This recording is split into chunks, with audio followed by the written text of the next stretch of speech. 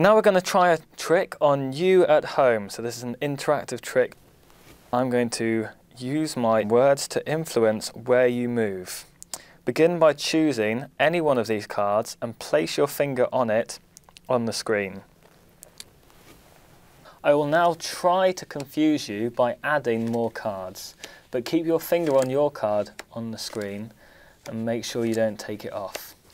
Keep your finger on your card on the screen and now, each time, I'm going to ask you to move a certain number of cards. Now keep your finger on your card at the moment because I'll give you an example. For example, if you choose to move five cards, you can move from here to one, two, three, four, five, or you can move from here to one, two, three, four, five. You can move up, down, left or right, whichever way you like, as long as you don't move diagonally and I will give you numbers to choose from. So keep your finger on that first card and now I'd like you to move one of these number of spaces, either 9, 5, 1, 3 or 7. So move one of those number of spaces now, up, down, left or right, but anything but diagonally and keep your finger on that new card. Fantastic. Now using my magical intuition and my influencing, I think I have influenced you not to be on this card, this card, uh, or either of these cards actually.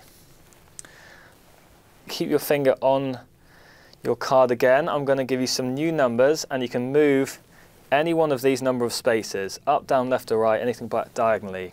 You can move 5, 3, 7, 1, 9.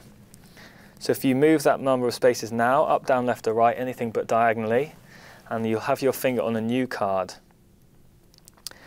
Fantastic.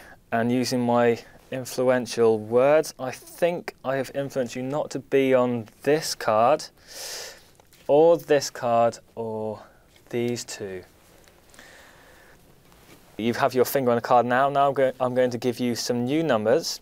Uh, you can move any number of any of these number of spaces again, up, down, left or right, anything but diagonal.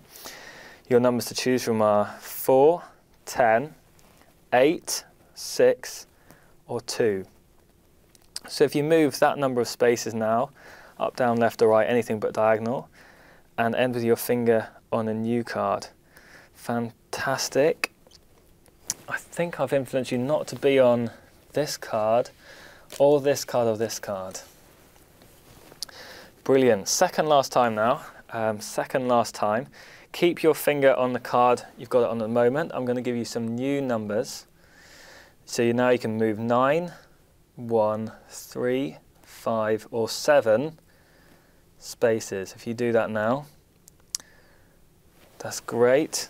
I think I have now influenced you to not be on these two sixes. Also not on these. So we're narrowing it down and I think each time I'm following exactly where you are, even though you're at home. The final time, I'm going to ask you to move a number of spaces, up, down, left or right, anything but diagonal. Keep your finger on the card at the moment. You can move 9, 1, 3, 5 or 7 spaces. If you do that now, up, down, left or right, anything but diagonal. And I think using my magical powers of perception, that you are not on any of these cards, but your final card is the Four of Clubs. Here's a brief explanation of how that trick worked. Originally, I had only laid out this amount of cards. I then, once you'd chosen a card and placed your finger on it, added extra cards to confuse the situation. We'll call these original cards set A and we'll call these face down cards set B.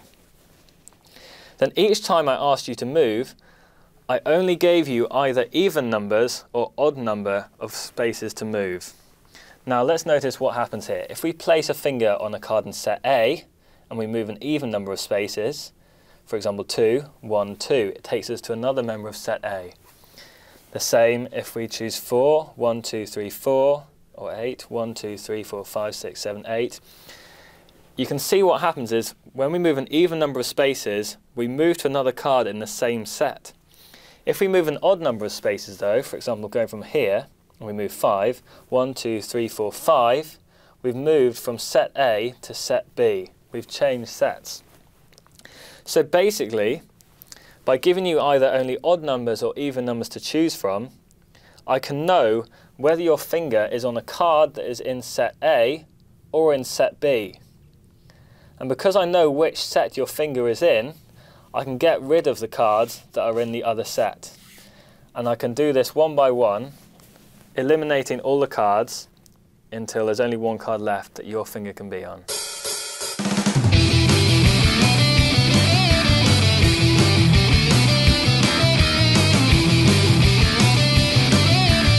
Go to mathematicalmagic.com for more maths, magic and teaching resources.